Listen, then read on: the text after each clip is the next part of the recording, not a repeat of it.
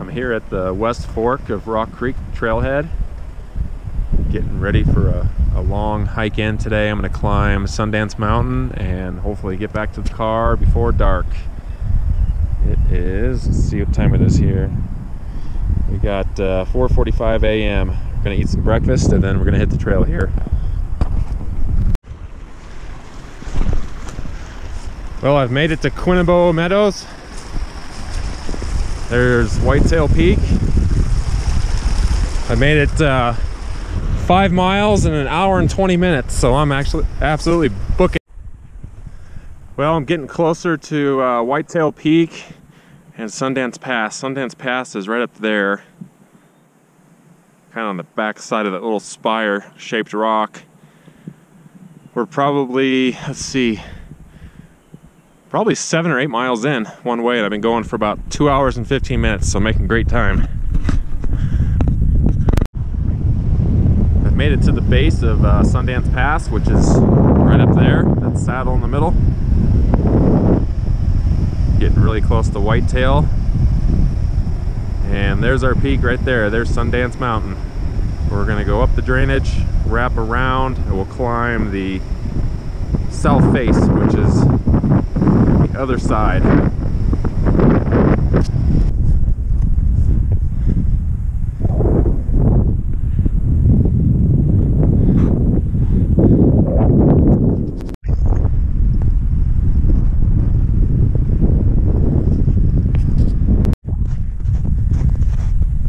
This is just unbelievably beautiful.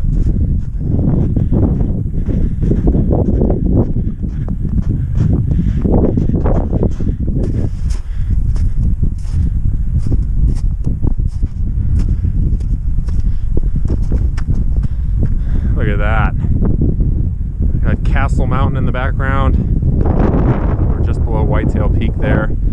I think this is the lower Silt Lake we're approaching here. So probably less than a mile we'll be cutting off and right here and starting to make our approach to the mountain. All right, I'm starting to make my ascent up the mountain now. Right up that gully, start working my way to the left and then get underneath the summit cliffs go up a chimney to the right and hopefully that should be the summit. Hopefully I'll stay away from the snow for the most part. Well crossing my first major snowfield here. Gonna head up to the other side and then climb that rib be on rock then and then hopefully tuck to the left of this cliff face here and then hopefully I should be able to see the summit from from there.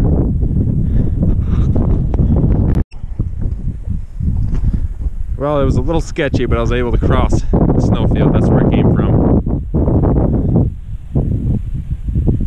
Pretty fairly steep. Wouldn't want to slide down that.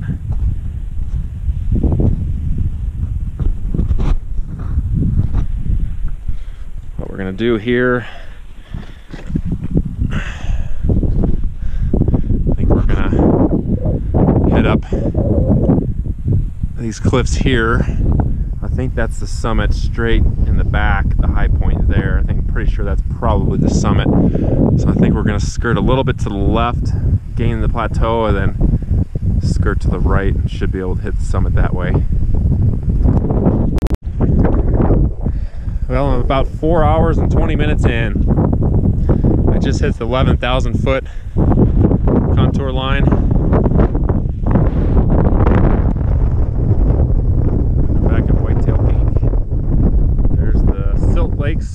Down below. But I'm thinking, this is the way I'm going. I'm thinking probably another hour, hour and a half, I might be up on the summit. I'm making some pretty good time.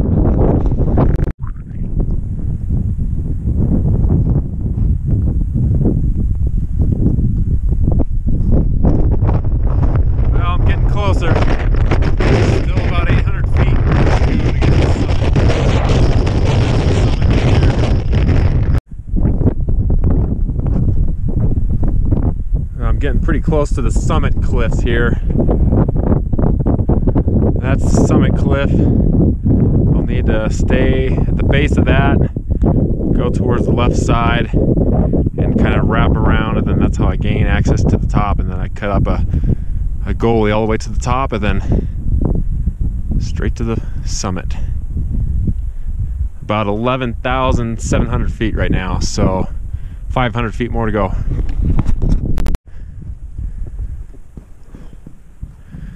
Well, getting closer. Probably about another 100 feet. Gotta go up that direction.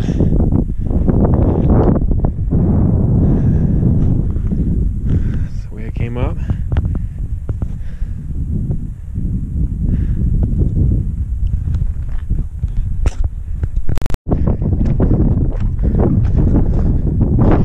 Well, I made it to the summit plateau.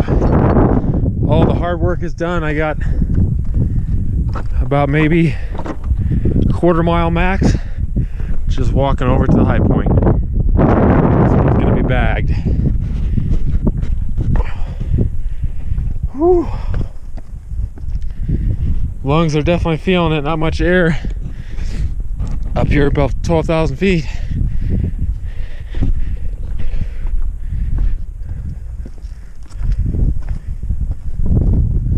Just awesome views up here. Whitetail over there, castle behind me.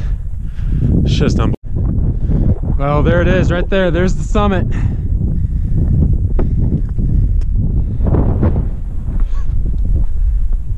There she is. Yeah, baby. Yeah. Woo, baby. Look at that view.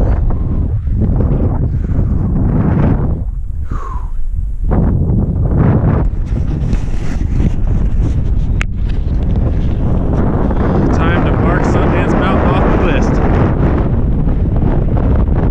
There's uh, Silver Run Peak. There's Sundance Pass. Whitetail Peak. Beartooth Mo- Mountain behind, behind it. There's Castle Mountain over there. There's the lakes down below where I started my ascent. Of course, all the way out that drainage, as far as you can see, where I started this morning. Awesome view.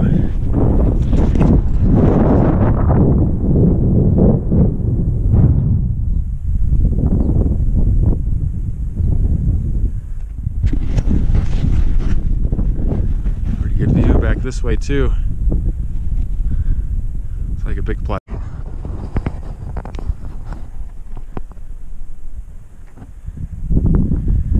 Yeah, it took me a little bit over six hours to get here from the car. From car to summit, six hours and 10 minutes. Not bad at all for the distance that I hiked in just to get to the mountain.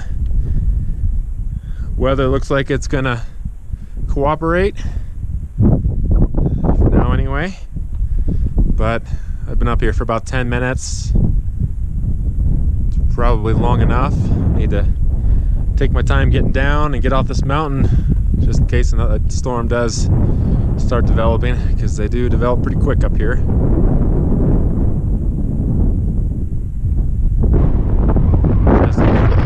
Bowback Mountain, there's the traverse. To get up to there, I did that one last year. It's pretty cool looking from this point of view.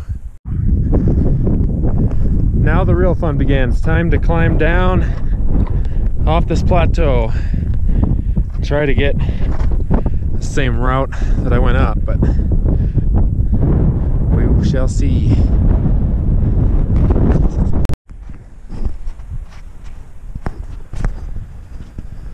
Now crossing another snowfield. Crossing a little bit higher than I did on the way up because I think it's a little bit shorter.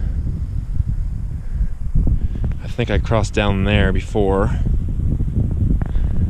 but it's a little bit shorter getting across this one. Still about the same steepness, but I can get over to these rocks and then go back down the way I came up.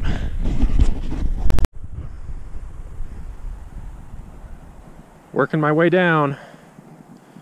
Probably another 30, 40 minutes and I'll be off the mountain. Thank goodness, these boulders are killing me. Came down just a little bit ago from that snowfield there. Heading towards the lake right there. And I'll be out of these boulders.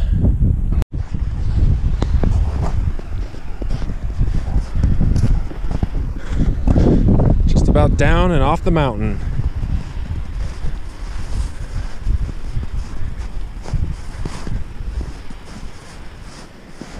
At least I'm done with boulders.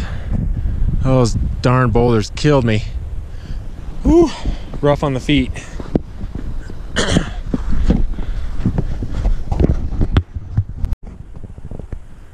I'm back down at the Silt Lakes. This is the upper Silt Lake. Thank goodness I got some flat hiking now. It's gonna be a game trail here coming up soon, which is gonna be pretty awesome.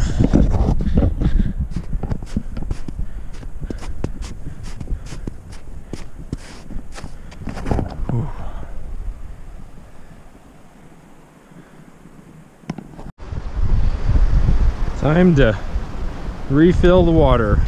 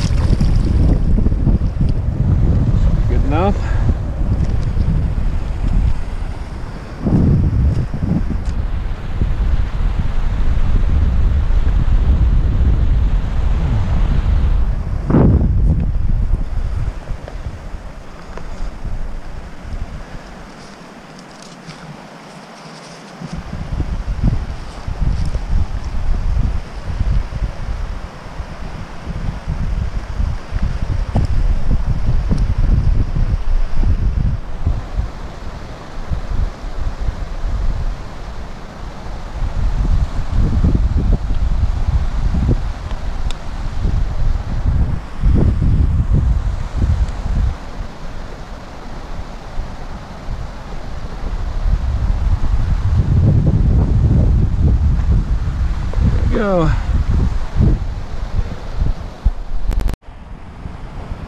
Got some electrolytes. Dump in there.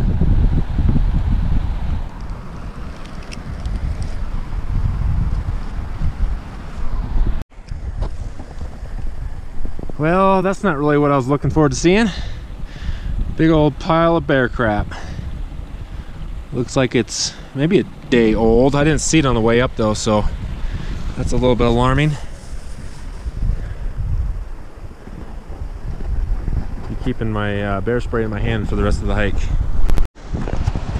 Now that's probably one of the best sights of the day right there. That's the bridge, and that means the trail is right there. So I've got trail all the way from here all the way back to the car. Thank goodness. Not liking these damn boulders. Not fun at all.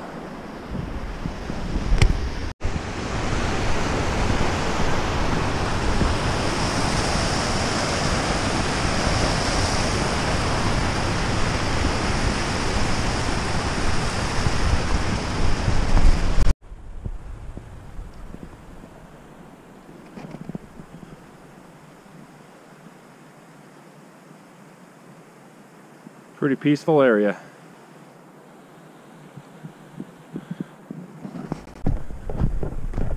Uh, I've made it to the Quinnebaugh Meadows, which is five miles from the trailhead, so we're getting closer. It's starting to rain a little bit, which is very welcoming. It actually feels pretty good. Cooled me off. It's a hot day today. Hiking through the burned area now. Got probably about two, two and a half, maybe miles max we get to the car.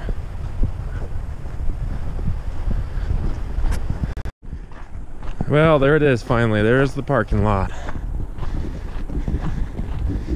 Let's see where we're at for time here. Total hiking time from car to summit back to the car 11 hours and 32 minutes.